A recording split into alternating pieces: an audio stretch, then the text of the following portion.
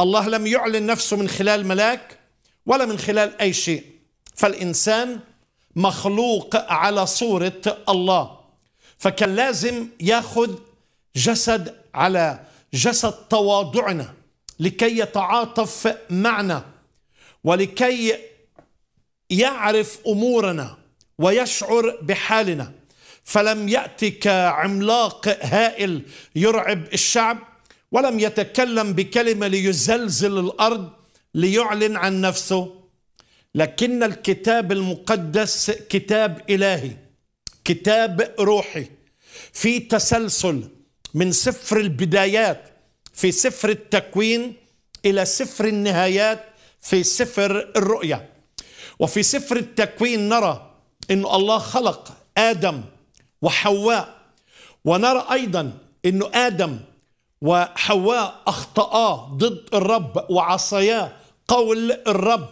الرب طردهم من الجنة ولكن ما اكتفى الرب أعطى الوعد الأول الوعد المسياني من آلاف السنين أنه سيأتي يوما ما في المستقبل من نسل المرأة الذي سيسحق رأس الحية الذي هو الشيطان. فإذا الرب أحبائي يعني اتواصل من البداية وابتدأ هذا الإعلان يزداد وهذا النور ابتدأ يتزايد.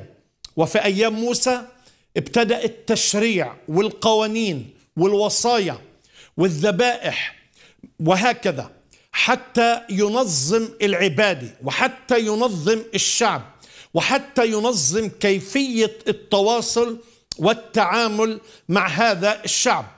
الله أرسل أنبياء عديدون كثيرون بكل الطرق وبكل الوسائل كانوا يتواصلوا مع الناس ولكن قلب الإنسان هو قلب الإنسان قلب مظلم وكل تصور فكره مظلم أخطأوا ضد الرب ولم يسمعوا لصوت الأنبياء والرب حذر حذر كما أنه حذر شعوب كنعان القديمة وأعطاهم فرص كثيرة وهكذا حذر شعب إسرائيل أن يرجعوا إلى الله ويتوبوا.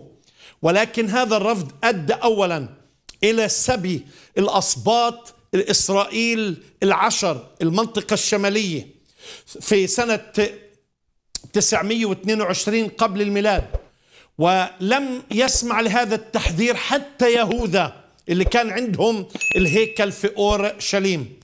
والرب أرسل نبوخذ نصر ودمر أورشليم ودمر الهيكل وسبى ما سبى في سنة 586 قبل الميلاد. وحتى خلال الفترة كان الله يحاول أن يتواصل معهم ولكن لا توجد نتيجة.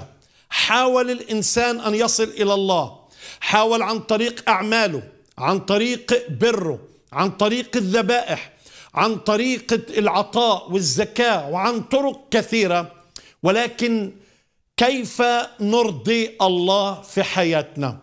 وكم من الأعمال التي نعملها أعمال صالحة نقول أننا أرضينا الله. فالله القدوس عيناه أطهرا من أن تنظر الشر. كل شيء يعني أمام الله مكشوف عريان حتى السماء غير طاهرة قدامه.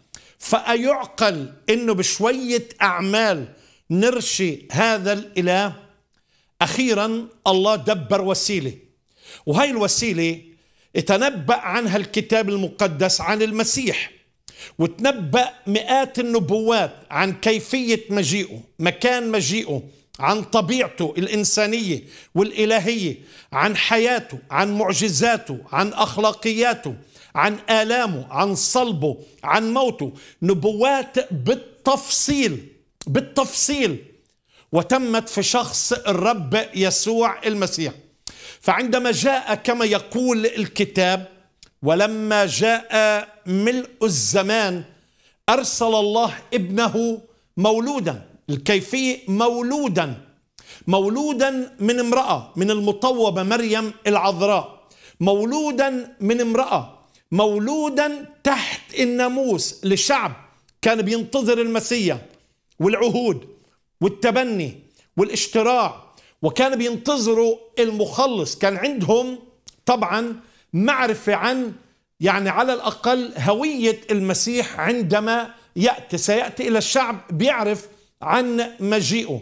مولودا تحت الناموس. نعم هذا الشيء المذهل الشيء العظيم الشيء الخارق للطبيعة. الشيء نحتاج كل الأبدية لكي نفهم فكر الله.